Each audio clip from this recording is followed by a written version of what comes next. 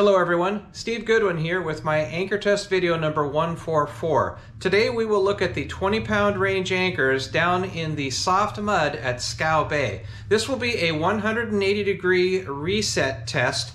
I'll be using a 2 knot boat speed as I pass over the anchors and I'll be giving them 5 resets each. This compares with my previous sandy mud seabed testing where the boat speed was held at 3.5 knots and a total of 10 resets each. So today's test will be a little less thorough, but perhaps a little more realistic at the more gentle two knot passover. Now you may recall from that sandy mud testing that most of the anchors could cope with the test quite well and could reset whether they disengage or just rotate the seabed. It was only a handful of anchors that had real trouble. It's completely different here with this soft mud test. Uh, most of the anchors you'll see are going to have real trouble with this particular test, and it's only a small handful that do real well. All right, let's just get right to it, and we'll see how these anchors stack up. First up is the 17 pound Mantis M2. Its initial set is perfect. It's upright and it buries out of sight. Here's the first reset. The anchor rotated. It did not release from the seabed during the rotation, but when I just applied a small amount of thrust, the anchor just rolls right out. And it did not reset. Uh, toward the end of the drag, we see the ear of the anchor shown just a little bit there at the top, so the anchor was on its side. Here's another reset attempt, more dragging. In fact, that was it. There was nothing else this anchor could do. We see it up on its side and mostly out of the substrate. Guess just mud fouled. This is a 24 pound Delta anchor landed on its side, but the act of setting it kind of rolled it upright and it just dove straight in perfectly. This first reset looks like a perfect backflip, uh, but that's it. The anchor did not reset after a very long drag. Here's another reset attempt, much more slowly and gentle. No reset, long drag.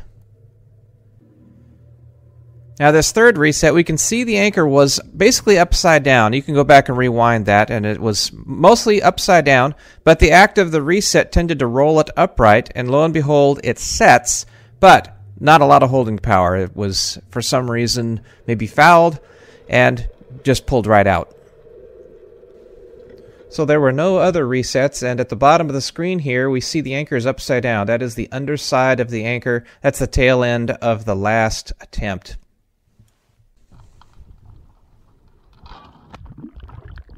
Next is this 32 pound U.S. Navy anchor from 1945. Now, this anchor does not have mud palms like the later Danforth anchors do, and as we can see, the crown and the stock of the anchor have embedded into the seabed with the fluke tips pointing skyward, and that's how it remains. This anchor failed to set. This is this is all we got. I slowed down, stopped, pulled it fast, Nothing, just no initial set whatsoever. I went ahead and conducted five reset attempts, and out two out of the five actually did set. And here's the, first one. The anchor did kind of a partial backflip. We see a stock on the right side that has uh, emerged up out of the seabed, but nope, the anchor does hook in and works fine.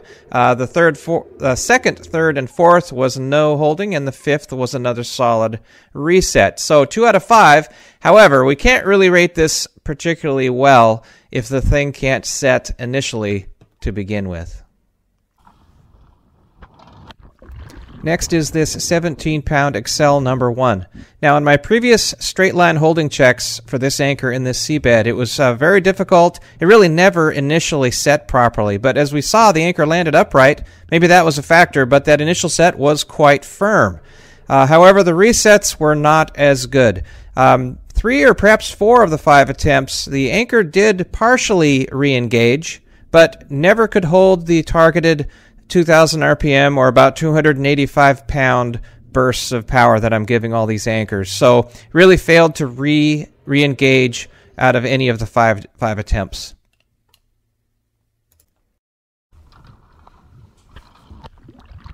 Next is the slightly larger 21 pound Excel number 2.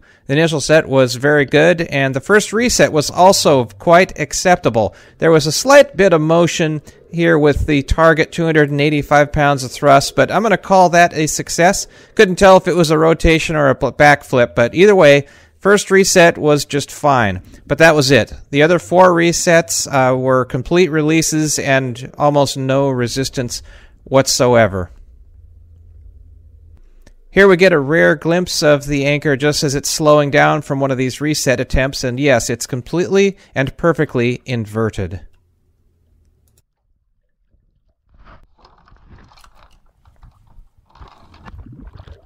Next is the 22 pound quick set. It did land almost upright and the toe did engage, but as soon as I pulled a little harder, the anchor rolls out, big blob of seabed there, and it keeps on rolling. Eventually, it ends up in a perfectly inverted attitude. That was real common for this anchor. So, no initial setting whatsoever. The first reset was pretty solid, didn't get any footage of it, but all the rest of the reset attempts resulted in this condition. The anchor just perfectly stable in the inverted position.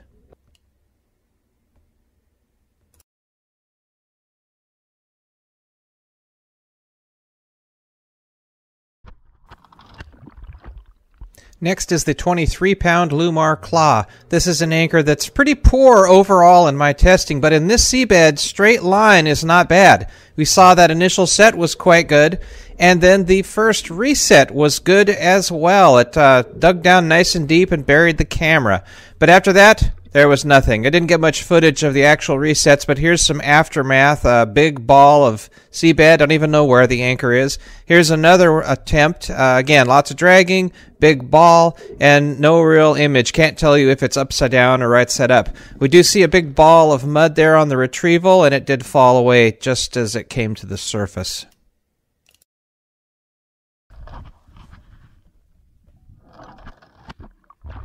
Next anchor is the 26 pound CQR, and on the initial set, it was just brilliant. We see the anchor completely out of sight. It's digging down in and stops the boat. And this anchor is actually the first anchor that I can genuinely say did a little better than that first group of anchors. Uh, the first and second resets weren't very good. We see here the anchor is just dragging along. In the lower left a bit there, there's a lump. That's the toe of the anchor that must be just under the surface and happily on its side. Uh, the third reset was good and solid. There was a bit of a drag, and then it eventually just settles right in, and no no motion at all. So that's good. The anchor the anchor is capable of fully re- repeating its initial setting performance. Fourth reset wasn't any good, but the fifth set showed promise as well. So again, it's the fifth time. It's had plenty of opportunity to become fouled. We saw it was dragging on its side with that lump, but nope, it rolled vertical, buried, stopped the boat. Just great. Unfortunately, it could only do that great reset two out of the five times, so still lots of room for improvement.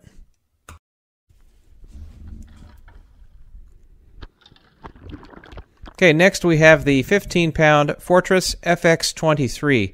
The anchor has landed flat horizontal there on the seabed and it's just skimming along, not real fast, just sort of inching it along. Eventually, the uh, articulating flukes pivot downward, dives into the seabed, and makes lots of holding power. Now, the first reset was successful. I think there may have been a rotation, so I might not have nailed the reset course.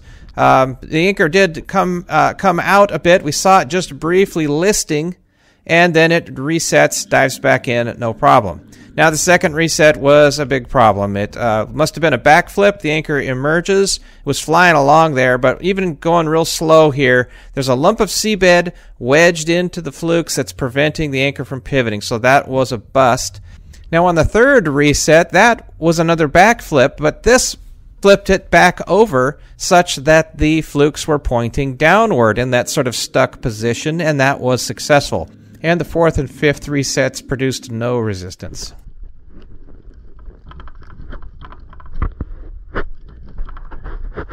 So that that took a little bit of force to get that fluke to to move past that mud.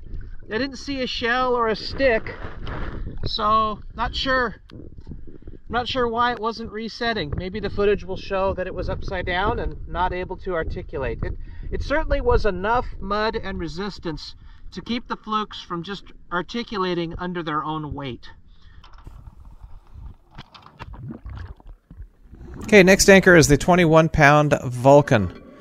The initial set is textbook. The anchor landed upright, did tip over onto its side a little bit on the first uh, movement, but just buries uh, right in there and stopped the boat nicely. Did get a captured tath- camera tether, so we didn't get to see the first rotation, but this is the aftermath. The anchor dragging on its side. Here's the second uh, aftermath of the second reset attempt. Same thing on its side, no reset. Here's the third try. This had much better results.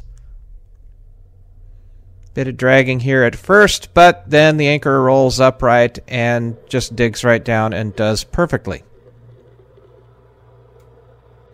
Fourth reset was a disaster. We see the anchor completely upside down. That is the bottom of the fluke. And as I slowed down, the anchor started to tip. Thought it might roll completely, but nope, it ended up being on its side and the toe nowhere near the seabed. The last uh, and the fifth, fifth and final reset attempt uh, was perfect. It uh, jerked the anchor around and rolled it uh, upright and down it went. So if the anchor can attain a, a, an upright attitude, it will rebury. But when it's on its side or upside down, it's almost hopeless in this seabed.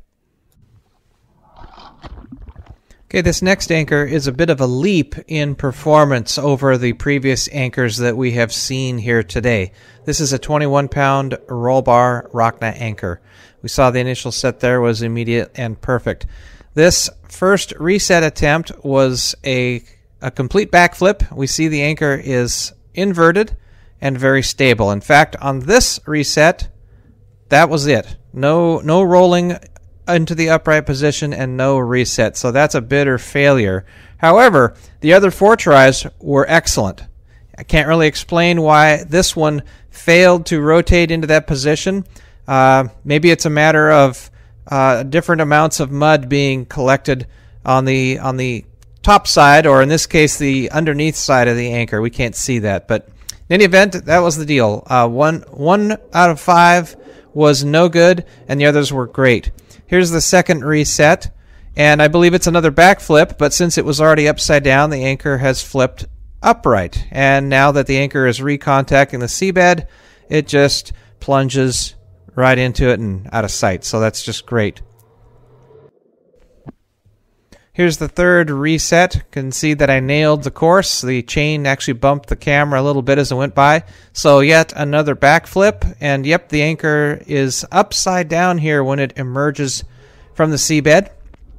But this time it successfully rolls upright. Just there. We just had a glimpse of it. It rolled upright, stopped the boat. Everything was great. After that, though, I had no more images. Here on retrieval, we do see some mud adhering to the fluke. But uh, that was overall quite good. Four successful resets out of five.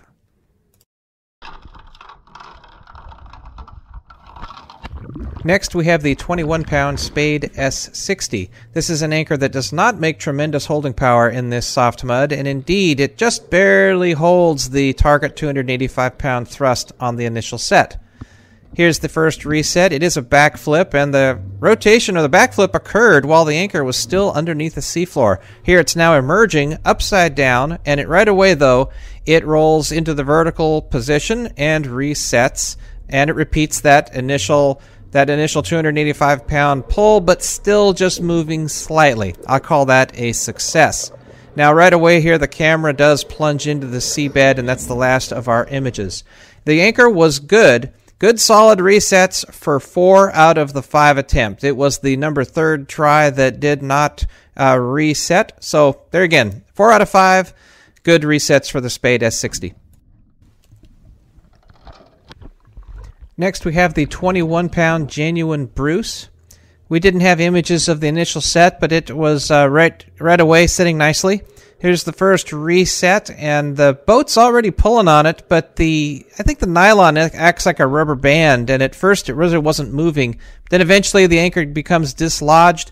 Looked like it was in a big ball. Don't, couldn't tell if it was upside down or not, but it eventually uh, finds its way back into the seabed. And here I'm just keep pulling and pulling and pulling, and finally the anchor stops. Must be very, very well buried under there. Here's the second reset. Not going to get any more images. We get the plunged camera, but I'll just say that the anchor was good for four out of five. Uh, the, the, the, the third one was the problem, and it actually did an initial reset, but it was only partially engaged. The anchor, the boat was still moving ahead at a knot or so uh, with that target thrust. So I'm going to go ahead and rate it four out of five resets for the 21 pound Bruce.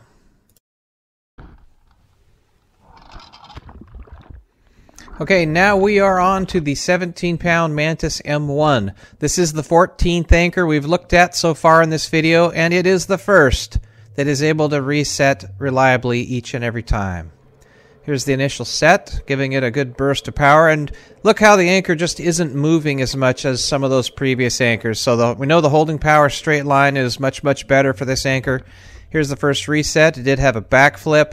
The anchor does emerge from the seabed upside down, but the anchor does rotate into the correct position, digs right in, and stops the boat.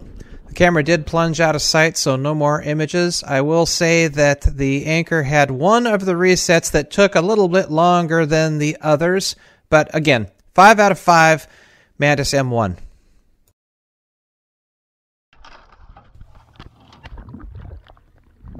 Next, we have the 21 pound Viking, and this is the first anchor that we've seen today that is flawless in its performance. Saw that initial set was immediate and holds solid. Here is the first reset. It comes out of the seafloor with a massive amount of seabed attached to it, so we never get a glimpse of the anchor. We don't know if that was a, an inverted sort of a rollover or, or perhaps a rotation. But in any event, it works perfectly. Very, very quickly, the anchor, the boat was brought to a halt. Here's the second reset. This time, we get a clear view that it was a backflip. The anchor emerges inverted and immediately rolls right into the upright position. Okay, that was five out of five. It really doesn't get any better. That was uh, very, very uh, immediate and uh, very solid. 2,000 berths, no forward boat motion. Perfect. Okay, the last anchor we will view is the 20 pound Danforth 18H. That initial set was fast and perfect. Here's the first reset. Just happened as fa- so fast you could hardly even see it going on. It was by far the fastest and most solid reset of any anchor I tested.